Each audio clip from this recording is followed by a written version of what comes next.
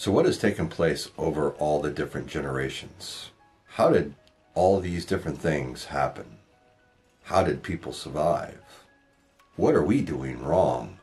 These are all really great questions. And one really has to sit back and go back and look in history to see why you need to be a prepper and why prepping is so important. Whether you are a total full blown out prepper or maybe you're a prepper that is basically planning ahead in case of an emergency, maybe a job loss, anything that's unforeseen, right?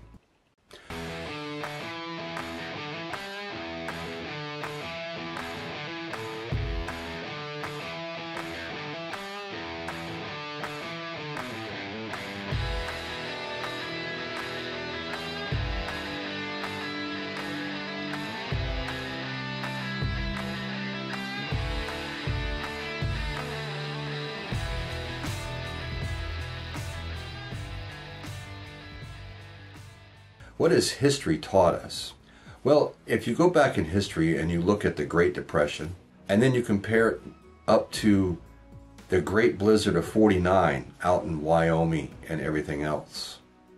All right, those two huge scenarios had a one thing in common for the reason that so many people survived.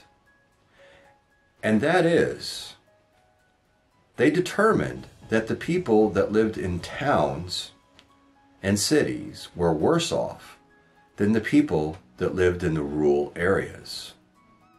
And the reason I say that is, is because the people that lived in the rural areas back then, in the Great Blizzard of 49 and in the Great Depression, the one thing that they shared in common was they had food. And why is it that they had food? Because you see, for those people that lived in the rural areas, they couldn't just run into town and buy groceries and things from the store. If they did have to go into town, it was probably once every blue moon, just because of the fact it was so far away. And people didn't have the means sometimes to get there. Not everybody owned vehicles. Not everybody had a way of transportation. So you have to sit back and think about where are we now? What have we gotten away from that has put us in some of these positions and predicaments that we have been put into?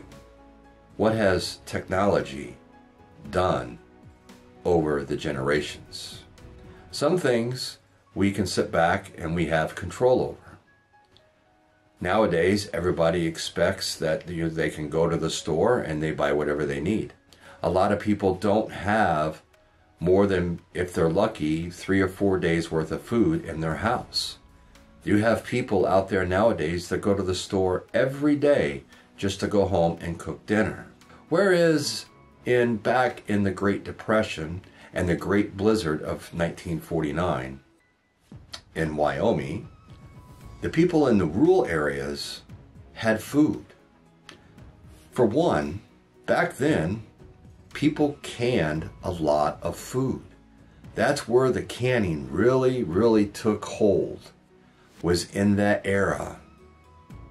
Now, I'm sure you all can relate to this in the fact that if you have grandparents, more than likely your grandparents were taught, and they probably did it right up until they couldn't do it anymore, and that was canning. I remember my grandmother's basement.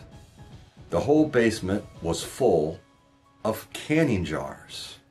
Full canning jars. But we don't do that anymore.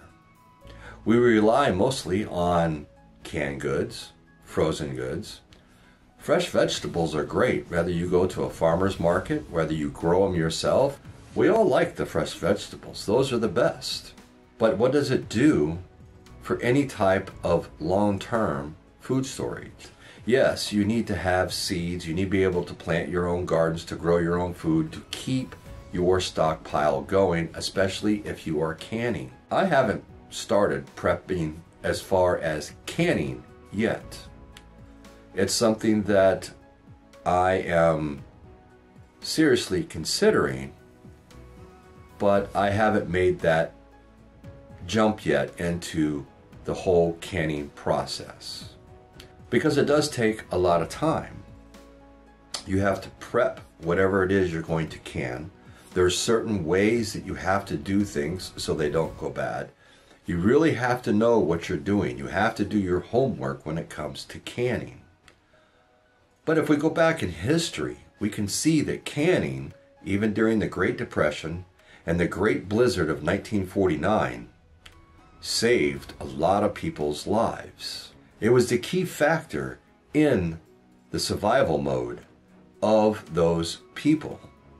They did well better off than the people living in the cities because you see the stores either didn't have goods or you were limited to what you could buy with them having the availability to go downstairs and grab some fresh corn, green beans, any type of vegetables, carrots, potatoes, meat, whatever, because they canned everything.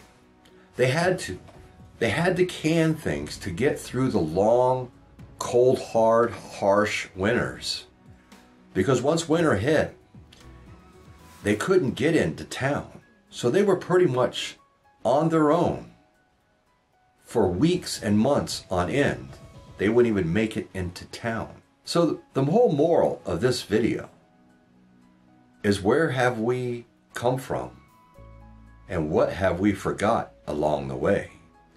And what has technology done to making everyone forget how to fend for themselves and not being prepared for even the smallest of storms compared to what took place years ago.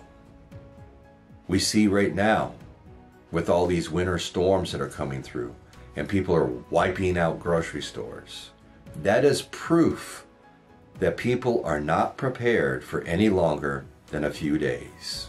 Because if you were, you wouldn't be in that position to have to run to the store every time a little storm rolled into town.